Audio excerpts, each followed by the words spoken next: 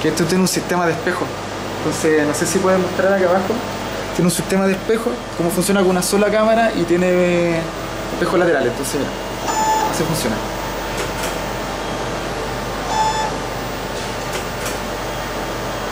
Ese es el, es el funcionamiento de la máquina. Hay otros modelos de esta misma que tienen dos cámaras, funcionan con dos cámaras laterales, pero esta nos ayuda el tema de los espejos, así que por ese lado estamos súper bien. Nosotros agarramos el libro.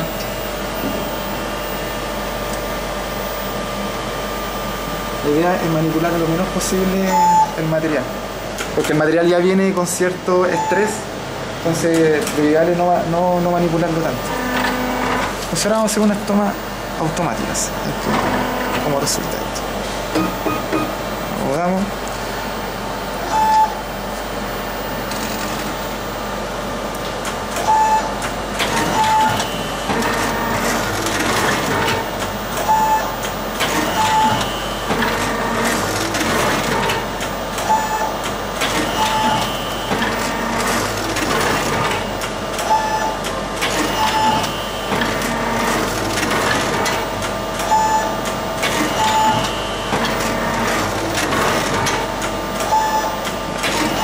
La máquina tiene distintas velocidades del brazo robótico que va a buscar la página y en su máxima velocidad por hora digitaliza 1600 imágenes.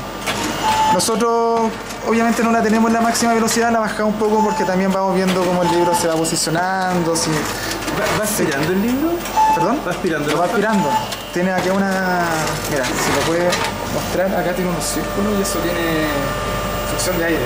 Perfecto. Y esto es un soplador que nos ayuda a separar las páginas. Ah, eso va soplando ya. Sí, este va soplando, mira. Ah. Ahora lo va, lo va a notar. Entonces sí, la, página se empieza a mover y nos, empieza, y nos, nos separa. Exacto. Y esto también tiene una. se puede modificar, o ir más arriba o ir más abajo, dependiendo del, del libro.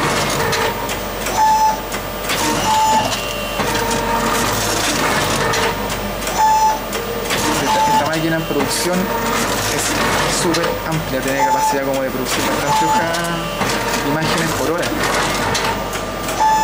¿Ustedes cuántos libros procesan en el día más o menos? En el día es variable, pero ponte tú, nosotros al, al mes eh, digitalizamos como cerca de 8.000, 8.000, 8.500 páginas. Porque se entiende de- que está asociado, esta es una parte del proceso, lo que explicó, Claro. lo más largo parece que es lo otro. Claro, la edición. Claro.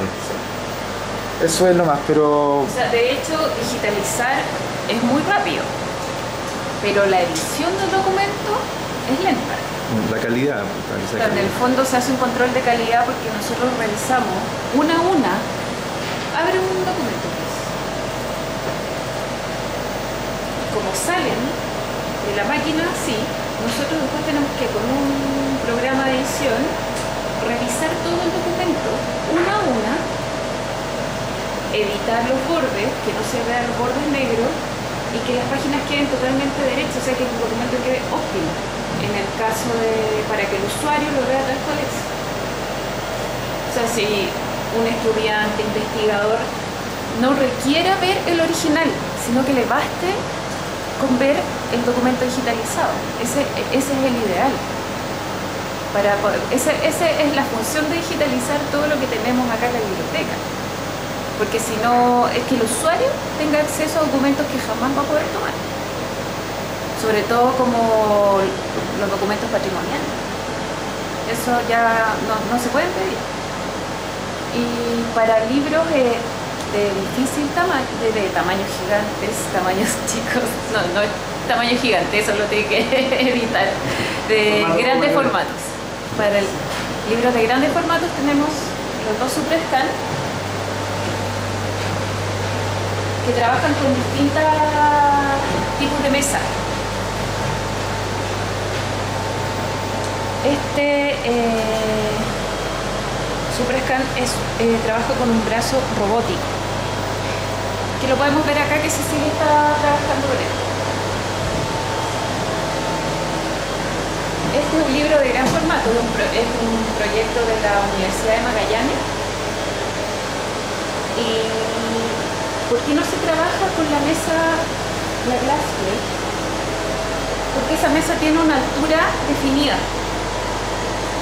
Entonces ella tendría que doblar la hoja para poder pasarlo y aprisionar el documento, que tampoco es es bueno porque se deteriorará mucho más. Entonces lo que hace Cecilia es ir girando y toma con una mano y con la otra y después en la edición